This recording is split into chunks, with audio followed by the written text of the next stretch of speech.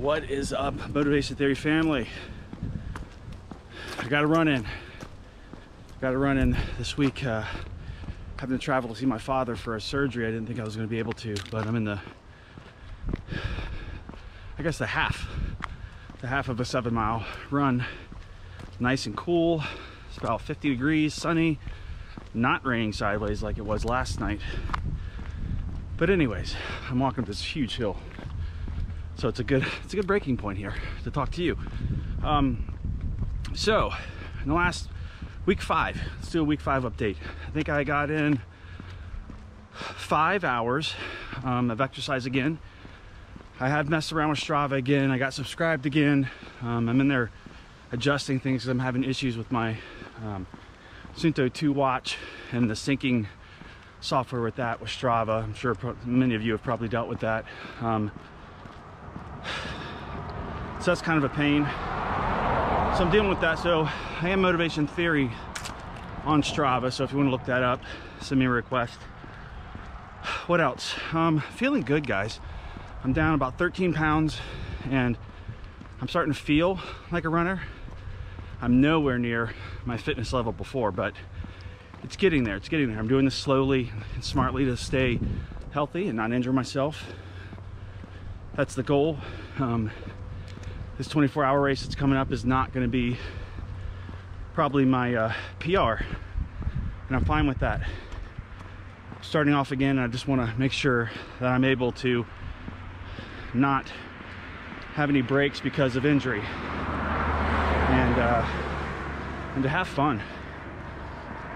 I definitely miss running ultras a lot. Um, so this is going to be fun for me. I'm having a blast. Um, it's humbling um, coming out to these areas and Strava reminding me like this was not your best effort in comparison some, to some of my old uh, times and a lot of the routes I run, which is kind of funny. Thanks Strava, make a guy feel good. Um, so progress, I'm right where I need to be. I think midway through February, I'm gonna ramp it up a little bit more, start doing a little more speed work.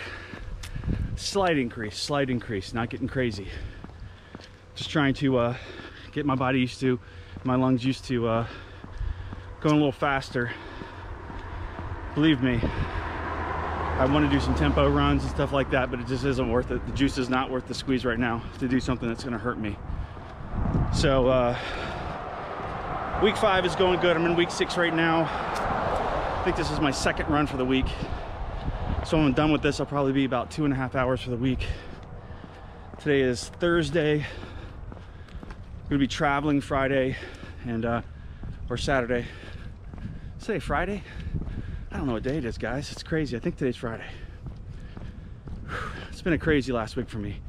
Crazy last week, and thank you for uh, for all the well wishes for my father he's doing good really sore as can be expected when you get your chest cracked open so um, everything's good though. It's good. So i'm happy. That stress has kind of subsided. And uh, i feel like i can go back home and uh, get back to my uh, my life training family and not be so worried about my father. This hill's getting ready to crest and go back downhill so let me wrap this up. Um, again, thank you all for the support. I'm doing well. Um, two videos that are going to be coming this next week. I'm excited about those. They won't be updates. Um, this is an update. You guys rock, and I hope all of your training is going well.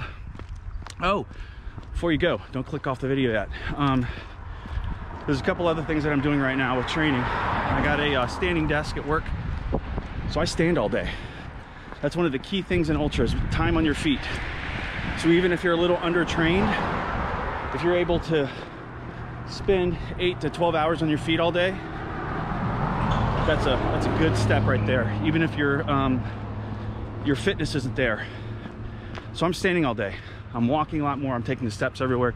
Everything that I can do to kind of put myself in a better spot, I'm doing and standing all day is actually helping a lot with my back and my feet so my feet don't hurt at all on my runs now and typically that will happen when you're starting off running so it's, a key tip there. If you can get a standing desk and spend most of the day on your feet, you'll be in a good spot. Um, if you're going to be coming into any kind of ultra or race in, in, any form, like a half marathon or marathon, you're going to be in a lot better spot. Uh, all right, guys, I'm going to take off. I'll see you in the next video. If you are not subscribed, please do so. And if you're not caught up on my videos, go catch up before I start releasing new ones. Go catch up.